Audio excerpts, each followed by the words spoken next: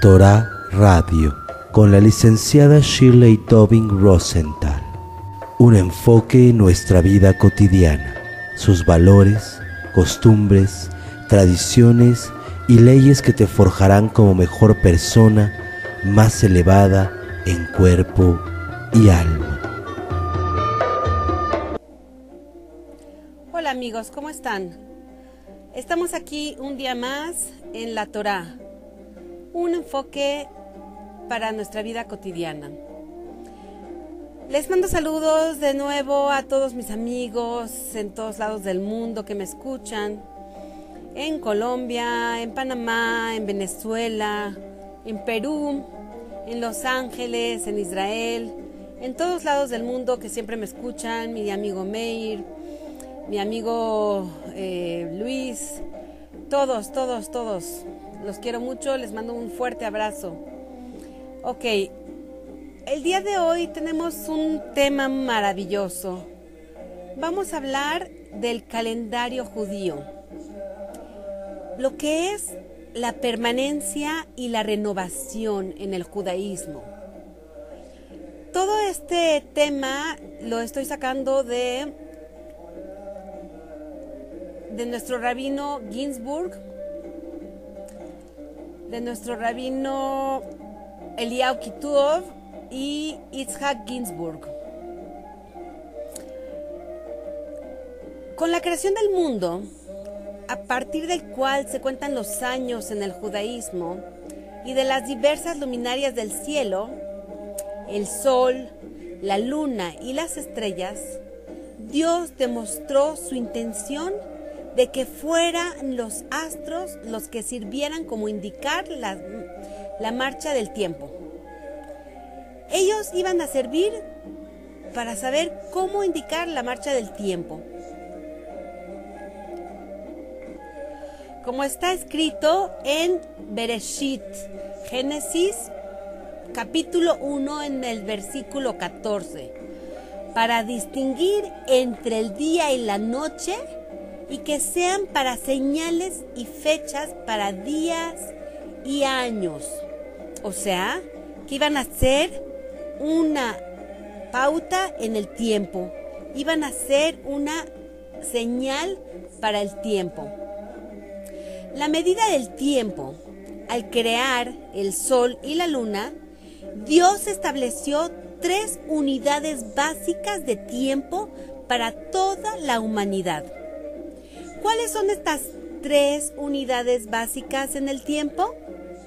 Es el día, el mes y el año. El día y el año son determinadas por el sol. El sol se pone, sale y se pone nuevamente. Este ciclo de ocaso a ocaso es un día la traslación de la Tierra sobre su eje frente al Sol. Los días son cortos en el invierno y se vuelven más largos en primavera y verano y vuelven a cortarse en otoño. El ciclo completo de días largos y cortos forman un año. Un año es el tiempo que dura la traslación de la Tierra en su órbita alrededor del Sol. El mes está relacionado con el ciclo de la luna desde su nacimiento, que se le llama molad. Molad. Pasando por la luna llena, luego decrece hasta desaparecer antes del nuevo nacimiento, basado en la órbita de la luna en torno a la Tierra. Esto se le llama molad.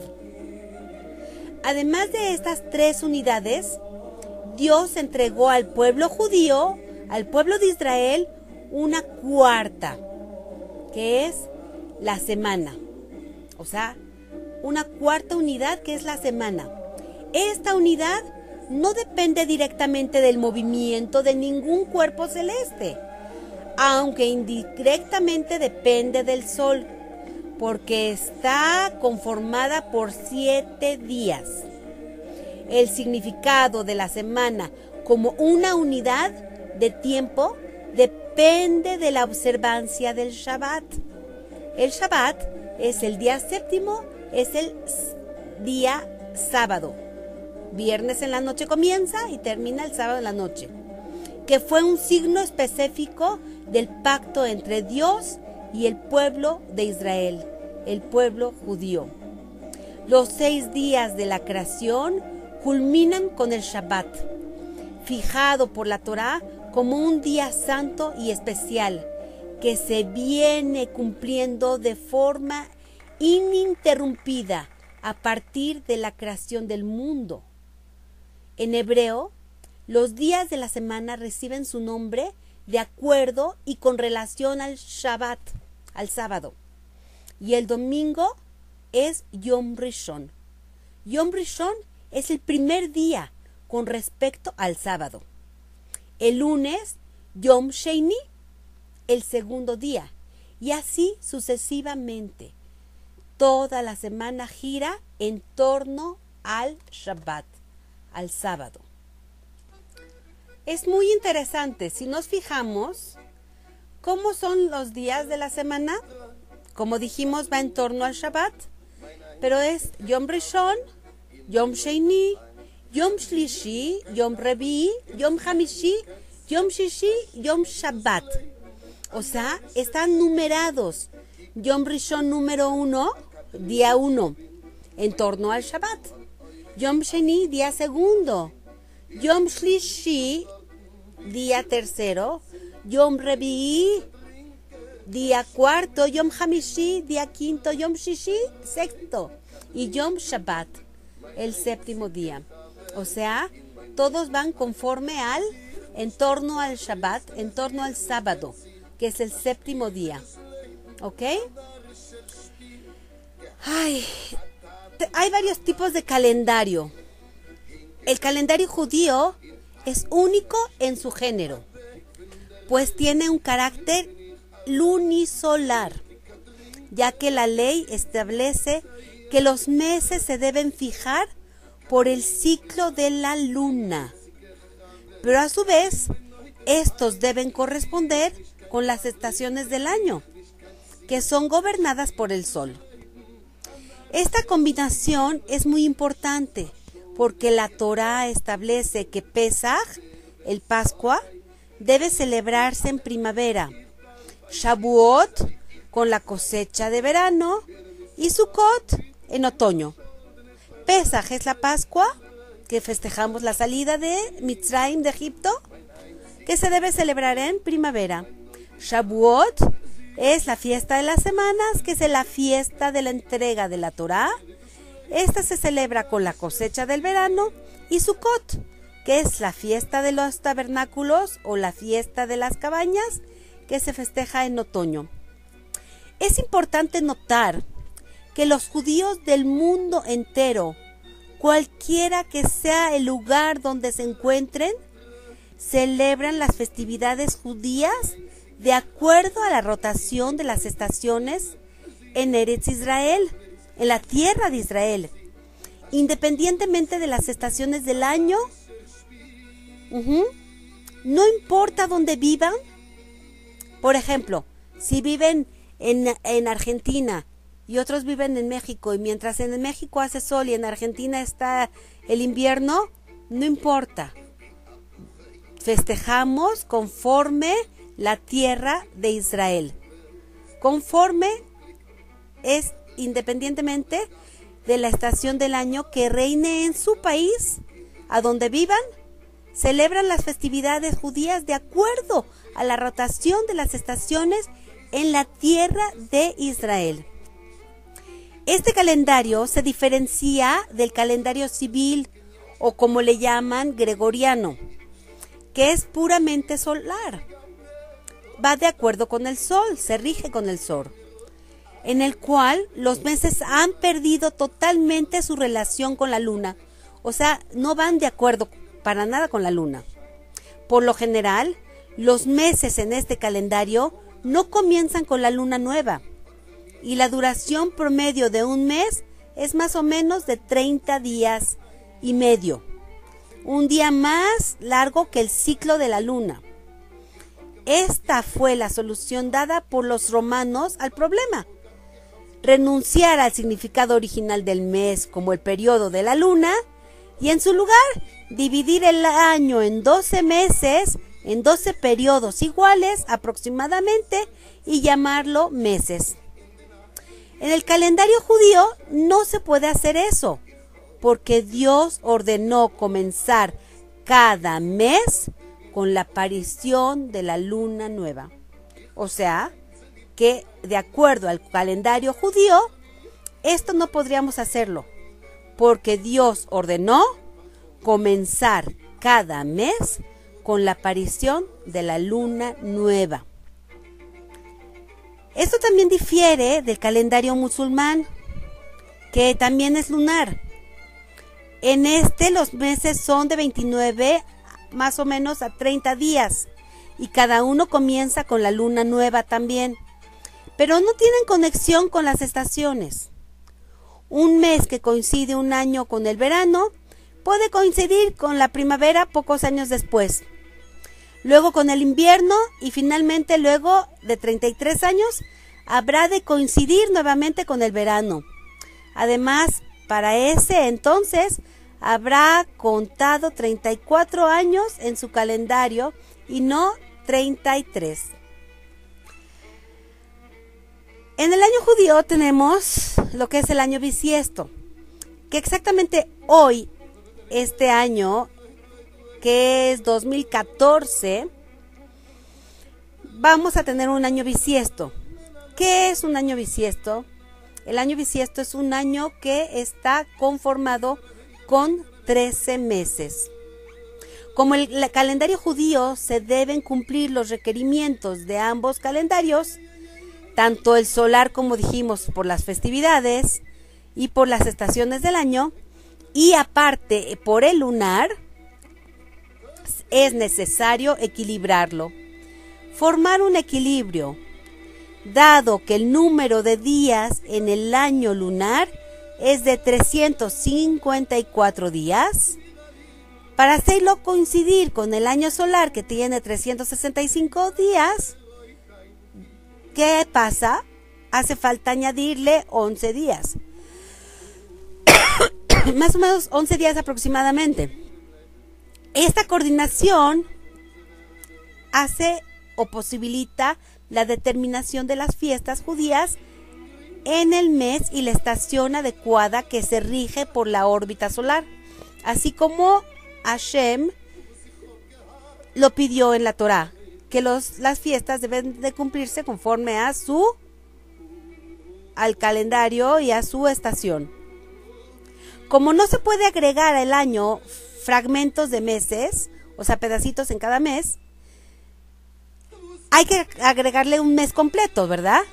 Entonces debemos de esperar la acumulación de los 30 días más o menos sobrantes para que se sume un mes completo en el año. El año en que esto ocurre está compuesto por 13 meses. Es cuando se le agrega estos pedacitos que van faltando y se le llama el año bisiesto.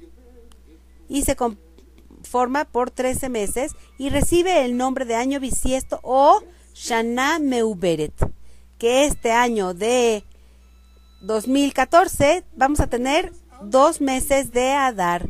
El mes suplementario es fijo y se llama Adar, que se da dos veces. Adar Aleph, que es el primero considerado adicional, que tiene 30 días, y Adar Bet, que es el segundo, con 29 días.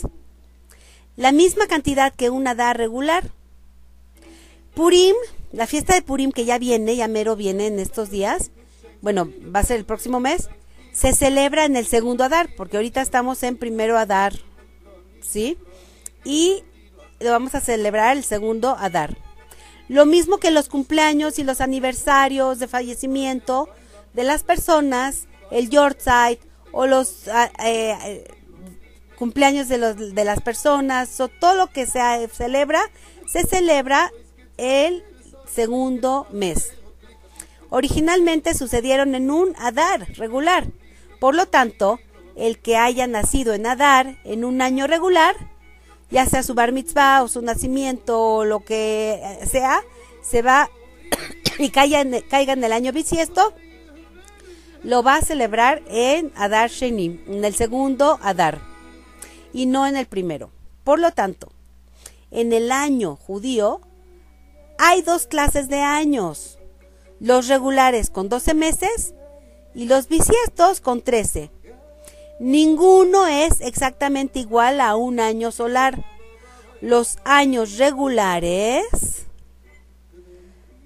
son de 12 meses, son más cortos y los bisiestos son más largos, pero combinando ambos es que se puede lograr un calendario sincronizado con el sol, a diferencia del calendario musulmán, y de igual modo continuar la correspondencia con el ciclo de la luna, a diferencia de los meses del calendario romano.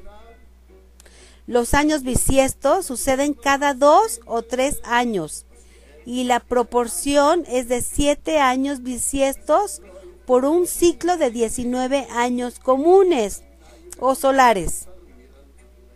O sea, los años bisiestos van a suceder cada dos o tres años. Y más o menos es de siete años bisiestos por un ciclo de 19 años comunes o solares, como les llamamos. Al cabo de 19 años, vuelve a coincidir, a veces con la diferencia de un solo día, una fecha judía con la corresponde al año civil más o menos, al calendario gregoriano. Los meses y las estaciones. Vamos a ver cómo funcionan aquí. El mes es el periodo comprendido entre la aparición de la luna nueva hasta la próxima luna. La luna toma más o menos 29 días y medio en circundar la Tierra, o sea, en rodear. A veces la luna nueva aparece la noche siguiente al vigésimo noveno del día del mes y otras a la noche siguiente del trigésimo día. Puesto que la duración promedio de un mes es de 29 días y medio más o menos, significa que aproximadamente la mitad de los meses tienen 29 días y la otra mitad 30 días. ¿Por qué? Porque son 29 días y medio, entonces 29 días y otra mitad 30. En el calendario fijo que se usa actualmente, hay cinco meses que siempre tienen 29 días. Eso se los denomina Hacer. Es un mes carente. Hacer significa que algo le falta un mes Hacer carente. Y son el mes de Tebet, el mes de Adar, el mes de Iyar, el mes de Tamuz, el mes de Elul. Esos son los meses que son Hacer. Y otros cinco meses que son los de 30 días, que son denominados Malé. Malé eh, significa completos, porque tienen 30 días. Y estos meses son Shvat, Nisan, Sivan, Av, Av y Adar. Tishrei y Adar. Adar 1 en un año bisiesto. ¿Sí? Porque habíamos pronunciado, me equivoqué. Sí, sí, sí, me equivoqué, sí. Adar era este carente cuando estamos hablando de, de, de 29 días. ¿Sí? Pero cuando es el año bisiesto, el Adar 1 está comprendido también en los días de 30, porque el uno va a tener 29 y el otro en 30. Los dos meses restantes son Heshvan y Kislev. Este tienen un carácter variable, o sea que a veces tienen 29 y a veces tienen 30. El principio del mes se le llama Rosh Hodesh, que es Rosh, cabeza, Hodesh, mes. Rosh Hodesh, la cabeza del mes. A veces es un solo día. El mes que continúa un mes Haser es el mes que no está completo de 29 días. Y otras son dos, un mes que continúa a un mes de Malé, que es al que continúe de 30 días, a un mes completo. Estos días tienen un carácter especial e incluyen un oficio religioso de carácter festivo, que se le llama Rosh Hodesh y se celebra dos días. La excepción la constituye el mes de Tishrei. Como el mes precedente es el Ul, con 29 días, Tishrei tendría un día en Rosh Hodesh. Pero Rosh Hodesh Tishrei es a su vez Rosh Hashanah, que es el año nuevo. Y no es considerado como tal, sino como un Yom Tov, es como una fiesta. No es nada más un Rosh Hodesh, es una fiesta, es una festividad. Los dos días de Rosh Hashanah son el primero y el segundo de Tishrei. Son el primero y el segundo del mes de Tishrei, que es el primer los dos primeros días del año. ¿Sí? Además, cada mes antes de la luna llena se le santifica con una plegaria que se llama Kidusha Levana. Es la tefilá de la la santificación de la luna que se recita a cielo abierto. En su contenido está una plegaria que alude a la promesa de renovación de la dinastía del rey David, de la cual emerge la luz del Mashiach, Bezrat Hashem, que llegue pronto en nuestros tiempos. Espero que más o menos esté claro lo que estamos hablando del calendario, cómo van los meses y el Rosh Hodesh. Y durante el curso del año, a medida de que la Tierra hace un círculo completo alrededor del Sol, diferentes grupos de estrellas se tornan ocultas cuando el Sol pasa delante de ellas. Hay 12 grupos correspondientes a los 12 meses del año y se denominan Mazalot o constelaciones, o como lo llaman en todos los otros meses gregorianos y en todos los otros meses, se les llama los zodiacos, las estrellas zodiacales. Las estrellas en cada uno de ellos están dispuestas de acuerdo a un modelo distinto y tienen un nombre que está relacionado con la forma. El círculo formado por los 12 mazalot es llamado elíptico o zodiaco. El círculo completo del Sol a través de los mazalot constituye un año. Hay cuatro días especiales en cada año el mes largo, el digo, perdón, el más largo, el más corto y dos días en los cuales el día y la noche son iguales. Estos son llamados las tecufot. ¿Qué son tecufot? Comienzo de las estaciones. Entonces, hay cuatro días especiales en cada año el más corto y el más largo, y dos días en los cuales el día y la noche son iguales. Estas son llamadas las Tekufot, que son los comienzos de las estaciones. Como vimos, el calendario judío sí tiene los Mazalot, tiene los los este los signos zodiacales. Vamos a ver cuáles son los signos zodiacales para mencionarlos. Son el mes de Tishrei tiene la balanza. Si nos fijamos en todos los meses gregorianos, los zodiacos están divididos a la mitad de un mes y la mitad del otro mes. Ahí nos, nos enseña que no es correcto. ¿Y que, quién nos enseña el secreto? Es el calendario judío. que va regido cada mes con un símbolo. Tishrei es la balanza, que más o menos el motivo probable que se puso la balanza es porque la creación es juzgada al comienzo de este mes, que se llaman los Yamim Noraim, que es el día del principio del año, que es Rosh Hashanah. Entonces, la creación es juzgada al comienzo de este año en los Yamim Noraim. Entonces, Tishrei tiene la balanza, porque balancea lo bueno y lo malo. Luego sigue el mes de Heshvan, que está regido por el signo eh, de escorpión. Podría ser que el escorpión es tras el, eh, eh, después de un verano tan caliente, la región de Israel está sedienta de agua, que comienza a caer por estas fechas más o menos, es el mes del diluvio relatado en la, en, en la Torah, el mes de Bereshit, Génesis. Entonces podría ser que después de un intenso calor, salen los escorpiones. Luego sigue el mes de Kislev. Kislev tiene el símbolo del arco.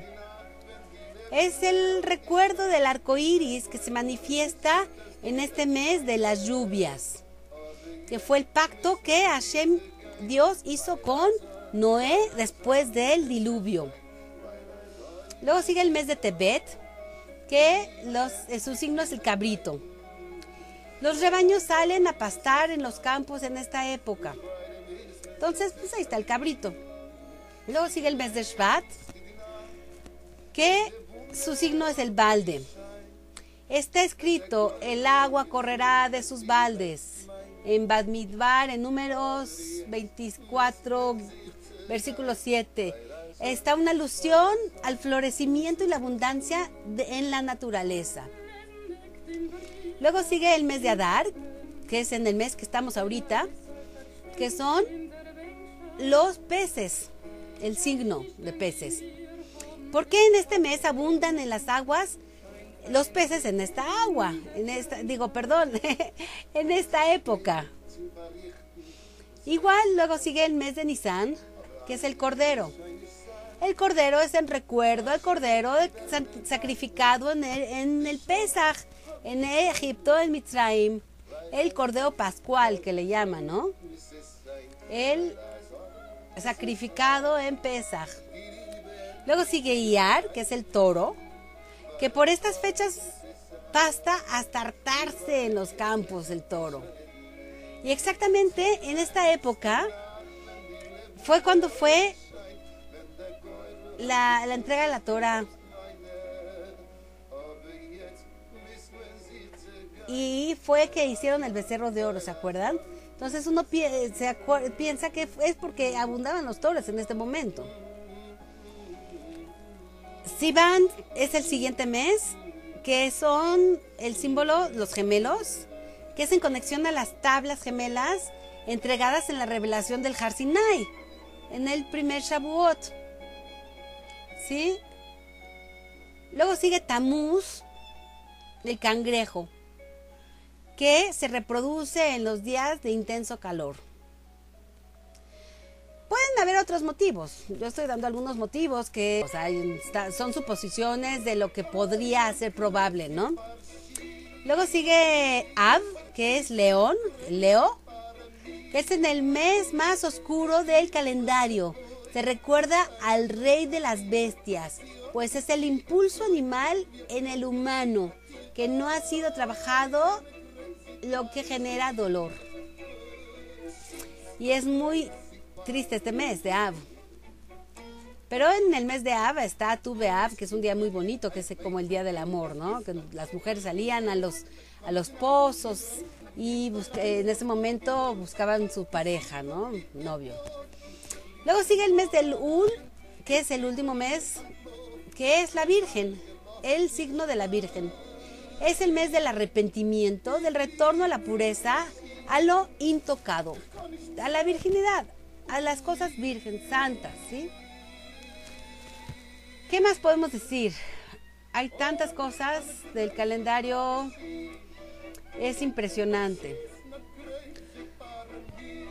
En el hasidismo, el Alter Rebbe decía frecuentemente que cada judío debe aprender a referirse a la porción semanal de la Torah como si ésta describiera eventos presentes que le ocurren a la vida propia, a uno mismo.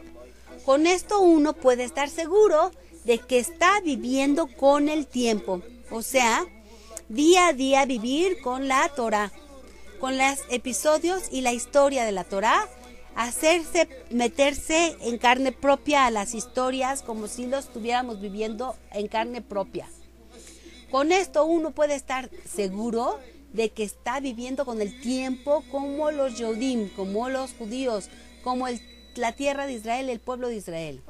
Es decir, el verdadero marco del tiempo de la existencia de un judío es dictado por el ciclo anual de la lectura de la Torah, como así también por el de las festividades según el calendario judío.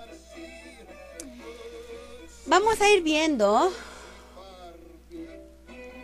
que vamos a ver este, aspectos interesantes. Pues espero verlos en, en algunos otros este, grabaciones, en algunas otras clases y conferencias que pueda dar. Que el año judío servirán como guía para vivir con el tiempo, con el sentido de un judío poniendo en una hora nuestro propio reloj interno con el pulso y el ritmo de la vida judía. Uno descubre la verdadera armonía entre Dios, el hombre y la creación. Y eso vamos a ir viéndolo durante nuestros meses en el calendario judío. Y si nos introducimos a la porción semanal de la Torá conforme van las festividades y conforme va la historia del pueblo de Israel, a Israel, nos vamos a ir introduciendo y vamos a meterlos y hacerlos presentes en nuestra vida propia. Como, y así vamos a poder sentir que vamos viviendo realmente en el tiempo. ¿Sí? La Torah escrita y la Torah oral comienzan con una apreciación diferente del significado del tiempo. La primera lo hace con las palabras, que es en el comienzo, como dice Bereshit, en el comienzo Dios creó los cielos y la tierra. Bereshit, bara Elohim, etashamayim vetaretz. En el comienzo Dios creó los cielos y las tierras. La segunda comienza, en cambio, con... ¿Cuándo recitamos el Shema en la noche? O sea, también nos da tiempo. Nos da un tiempo de que debemos recitar el Shema en la noche. Hashem puso la pauta del tiempo con el sol y la luna. Entonces debemos recitar el Shema en la noche. Eso es ser parte del tiempo. Vivimos con el tiempo. Por otra parte, el primer precepto que se le dio a los judíos, el primer precepto que se le dio a los judíos como pueblo, cuando se preparaban para salir de Egipto, ¿cuál fue? Fue la mitzvah, el precepto de santificar el mes cada mes la luna nueva. O sea, como lo mencionamos anteriormente, fue un precepto que Dios dijo que debemos de ver el cada mes con la luna nueva. Debemos de santificar cada mes la luna nueva, que constituye la base del calendario judío. Sin esta base del calendario judío estaríamos perdidos. No podríamos realizar nuestras festividades correctamente. De esto podemos aprender y entender que esta habilidad de realizar correctamente los cálculos del tiempo es en sí mismo el poder divino que tenemos para salir de Egipto. Esto representa todos los estados de esclavitud espiritual, incluso en nuestros días. Cuando un judío se esfuerza en calcular el tiempo de acuerdo al calendario judío, refuerza su espiritualidad.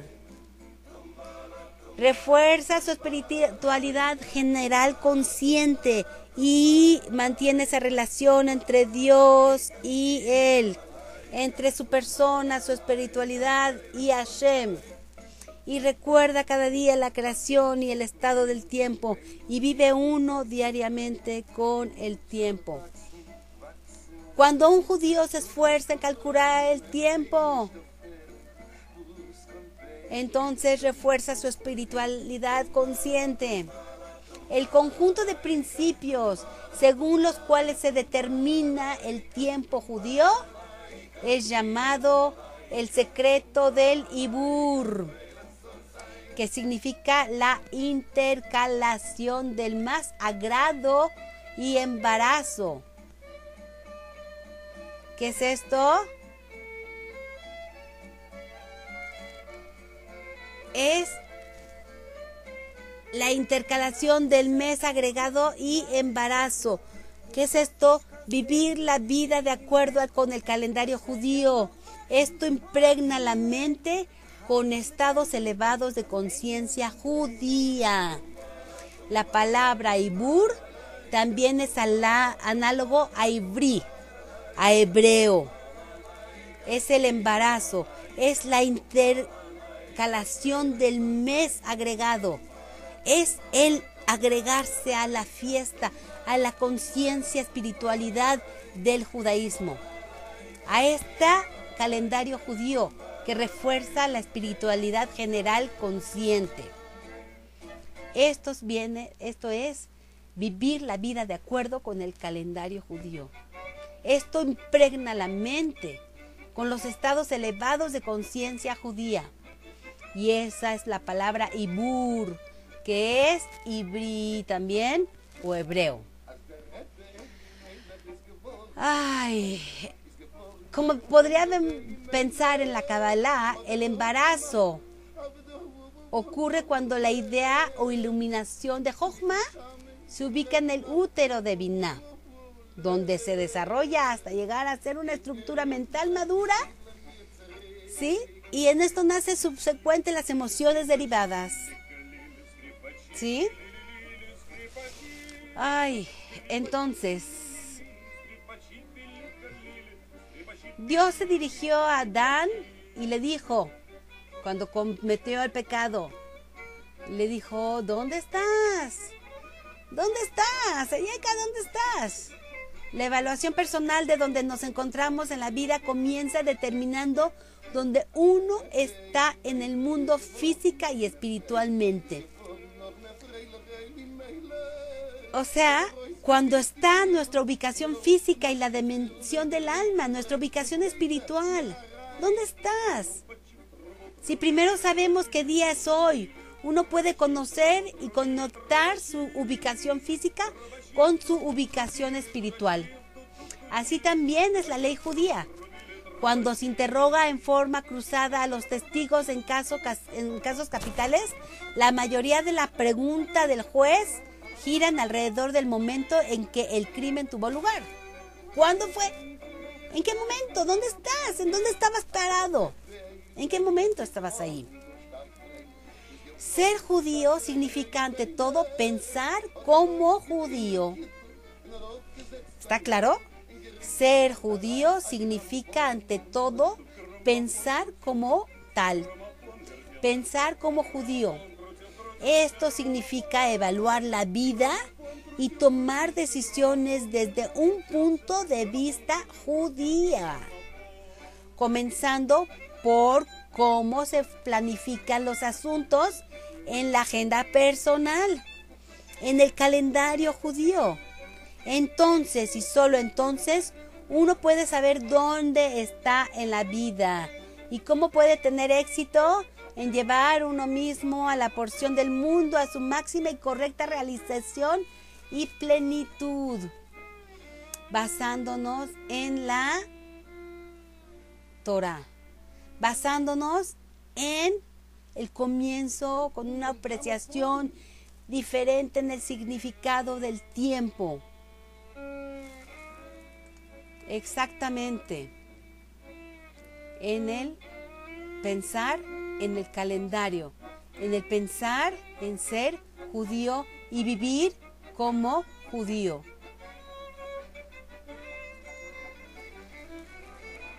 Creo que por ahora, en este momento vamos a dejarla aquí. Nos vamos a despedir. Después vamos a seguir hablando de los del calendario judío y los meses. Y vamos a ir eh, introduciéndonos en las fiestas también. Y vamos a irnos metiendo un poquito más profundo en las festividades, en las leyes y costumbres de cada una. Nos vamos a meter también en el significado de cada mes, con el zodiaco que mencionamos, qué significa cada uno, y también las letras que rigen el calendario. Cada mes tiene una letra, cada mes tiene un símbolo, cada mes tiene un número. Y son cosas muy lindas, profundas, un poquito de Kabbalah. Pero sin introducirnos tan profundamente para que podamos comprenderlo un poquito. Bueno, amigos, por ahora me despido. Espero que hayan disfrutado este tema de los meses y el calendario judío, un poquito del calendario lunar. Eh, nos estamos viendo por acá para la próxima. Los quiero muchísimo. Recuerden que estamos en el mes de Adar. En el mes de Adar debemos agregar la alegría, aumentar alegría. Acuérdense que debemos de aumentar. ¿Sí? En el mes de Adar aumentamos la alegría. Les voy a leer una cosa que escribí. Espero que lo, lo, este, lo hayan leído a lo mejor, ¿no? les escribí en el, en el grupo, en el grupo de amigos del judaísmo y los judíos, que comenzamos el mes de Adar. Exactamente este año es año bisiesto y tenemos dos Adar. Entonces este es el primero y segundo mes de Adar. Festejamos el mes de Purim. El mes eh, Adar es el doceavo mes del calendario judío. La palabra Adar es afim, tiene su raíz en la palabra Adir, que significa poderoso.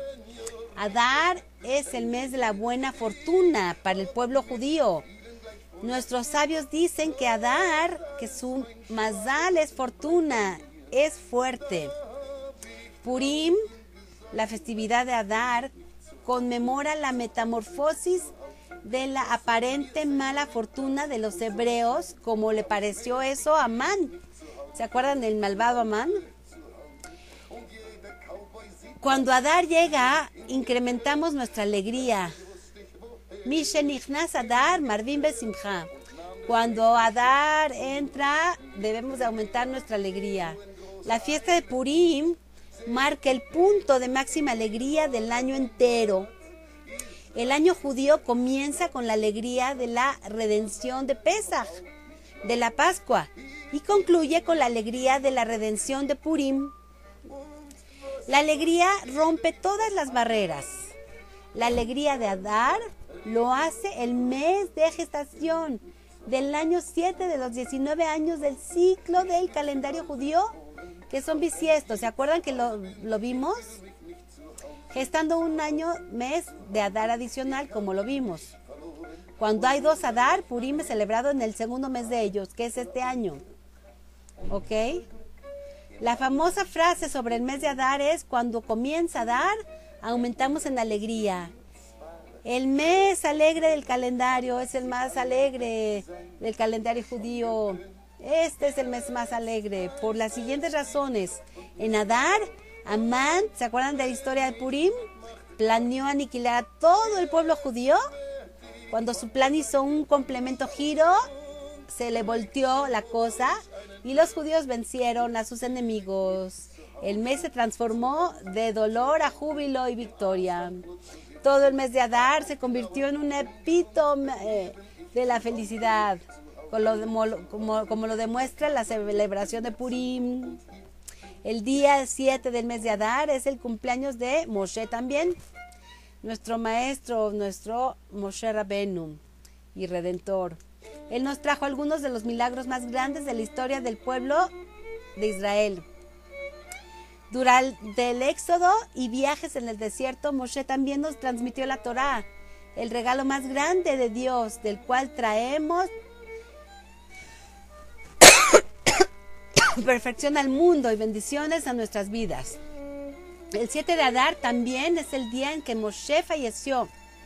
Muchos hombres justos fallecen en este día o fallecen el mismo día que es de su nacimiento.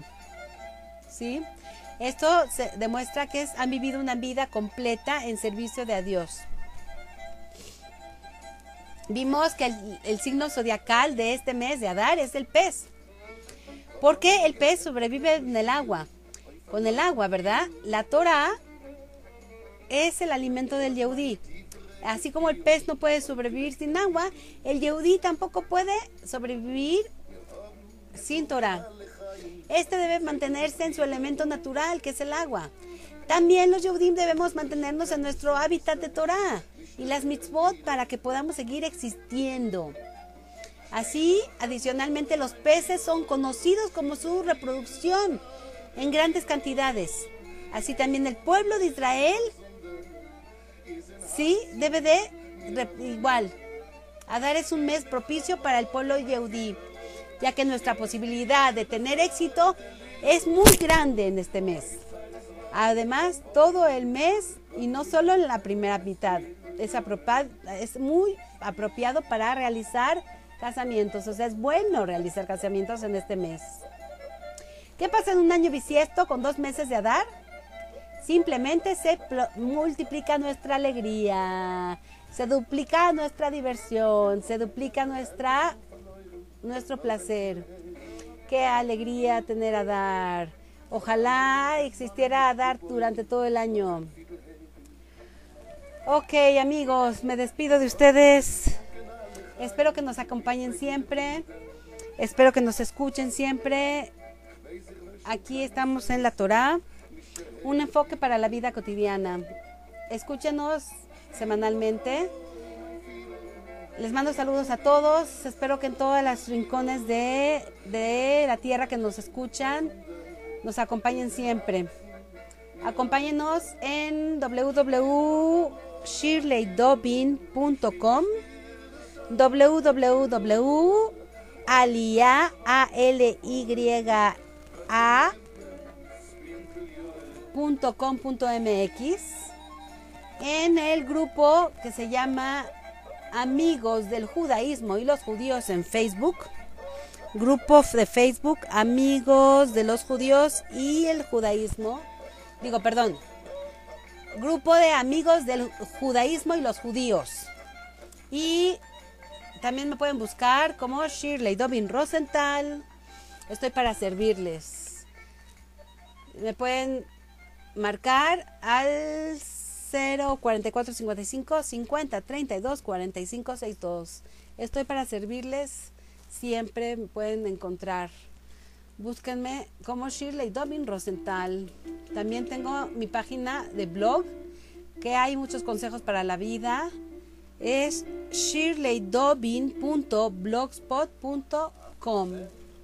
Hasta la próxima. Los quiero mucho. Les mando muchos abrazos. Bye bye. Espero hayan disfrutado de nuestras músicas y nuestras canciones. Los dejo con una música en Yiddish. Espero la disfruten. Gracias. Hasta la próxima. Nos estamos viendo.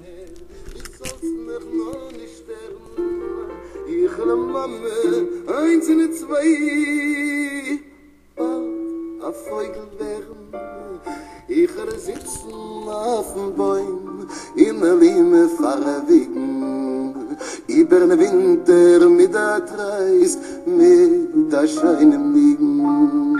Ja, mit der Littadam, ay, er Littadam, ay, er Littadam, ay, ay, ja, mit der Littadam, ay, er Littadam, ay, ay, ay, ay, ay. Mama mit der Kind, und sie weint mit Tränen. Kennst du Lila auf dem Bäum, mich verfeuern werden? Sucht die Mama es ist a Schut in deine scheine Augen. Eider Busen, eider bin, bin nach mir a Feugel.